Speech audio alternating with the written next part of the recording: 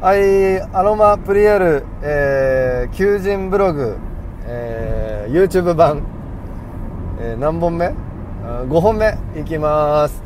えー、こんばんは、えー、アロマプリエル、えー、宇都宮店の店長をやっております。山田久太郎、もう舌が動きません。と申します。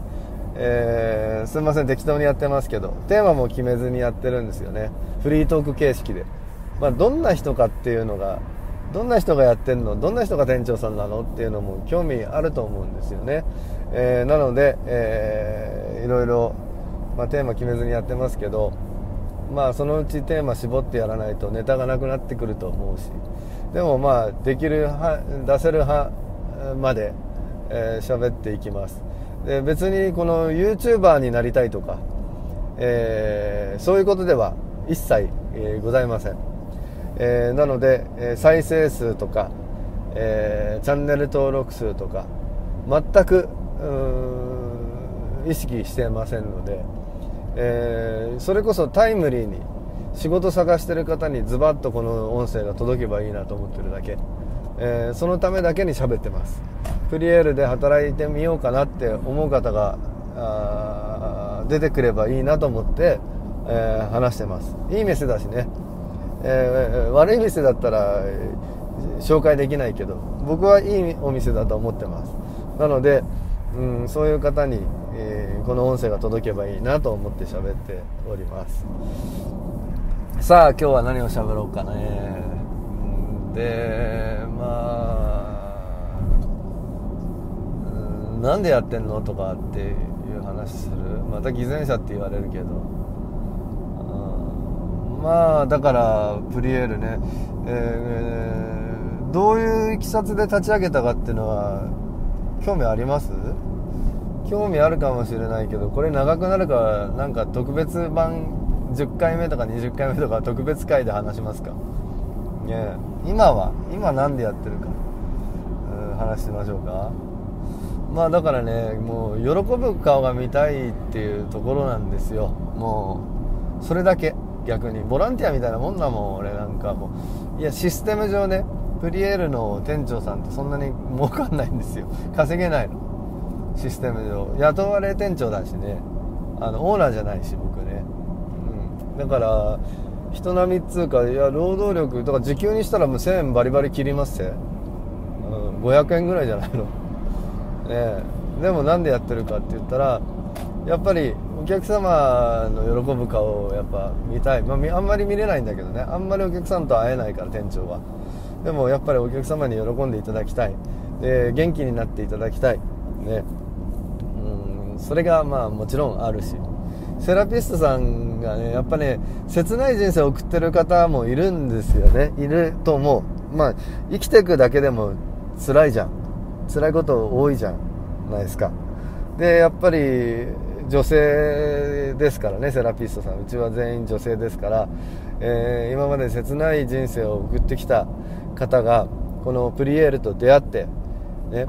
えー、人生が好転するっていうね良い方に転ぶっていう好転するっていう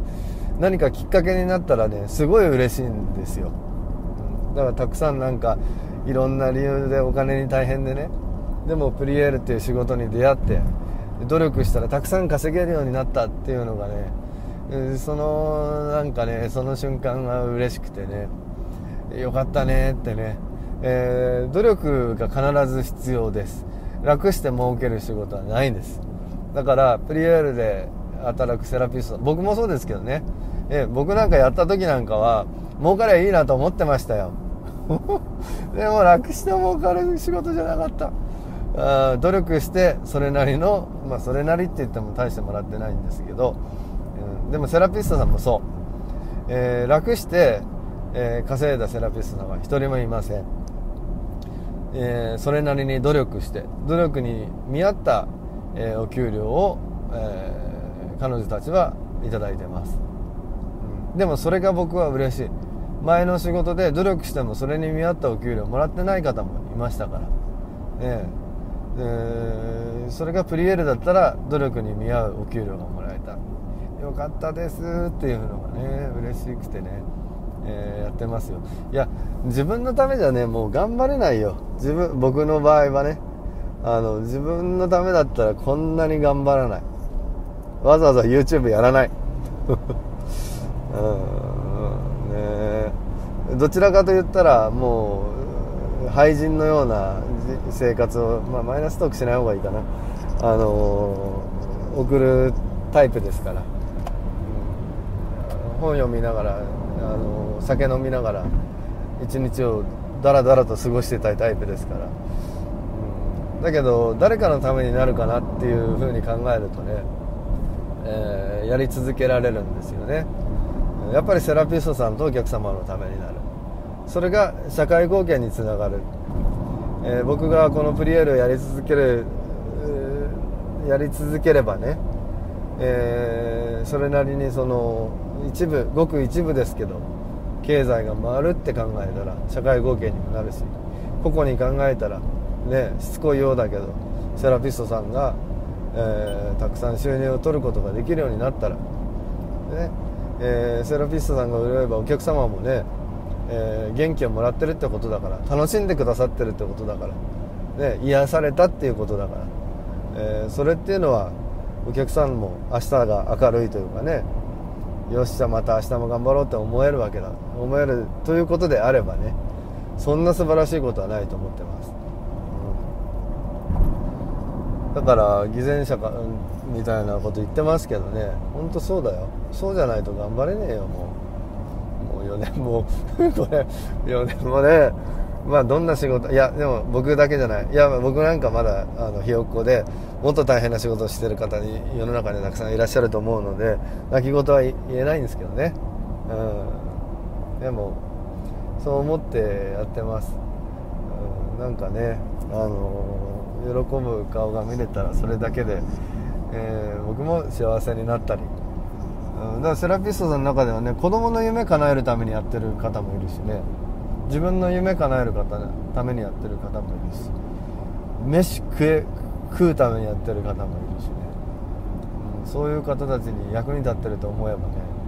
やっぱり、あのー、続けれますよそれは。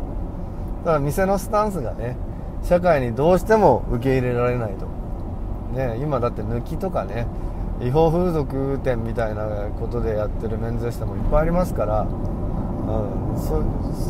ちょっとそれは僕はやらないかなって感じなのでね。あのメンズエステはメンズエステでメンズエステの良さを追求しようぜって思ってるんですよ。あこの話はやる話す機会設けますからね。ちょっと触りだけ話すけど。あのこれはちょっとねメンズエステ界ではちょっとあのもしかしたら経営者として失格かもしれんけど、うん、でもあのベンズエステとして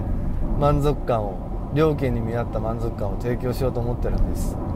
えー、決して風俗店のようなサービスをしようとしてないんですよ。うちは。ね。でただやっぱりニーズ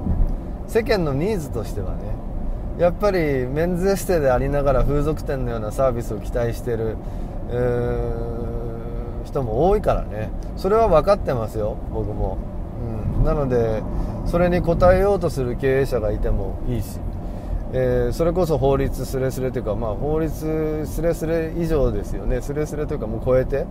要はあの違法なことでお客様に支持されるお店もあるしね。で、まあ、捕まってもいいやって思ってるのかかどう捕まり対策してるのか知らないけどそれはそれでそういう経営者がいても、まあ、違法を擁護するような話しちゃいけないのかもしれないけどいいいいんじゃないですか、うん、だけど僕はそうは思わないというか風俗店は風俗店で成り立ってるお店があるんだから風俗店は風俗店が頑張ればいいと思うしメンズエステ店だから非風俗のねうちみたいな風俗店ではないメンズエステ店がえー、頑張りどころって他にあると思うしね、うん、そういったスタンスなんです。なんでこんな話になったんだろう、うん、でもこのね違法風俗関係風俗店関係はねあのちょっとあのじっくり話す機会を設けます。この求人ブログ、えー、YouTube 版でね。まあじっくり、その時は持論を語らせていただきます、まあ、メンズエステってとはみたいなところも、えー、偉そうにねうんまだ 4, 4年の新米店長が、えー、メンズエステを語るなんて、えー、笑われてしまいますけれどまあ自由に語る部分だし、まあ、この目的はだから、えー、プリエールに面接に来てほしいがためですから。どんなお店かっていうのを知ってもらうためですからそのための一つとして、えー、メンズエステを語るっていうのも店長が語るっていうのもあってもいいかなと思うので、えー、そういう会も設けます。け、えー、で今日はもう10分経ちましたので10分経ちましたので言わな言わなくていいよねわざわざね。あの終わります。お疲れ様でした。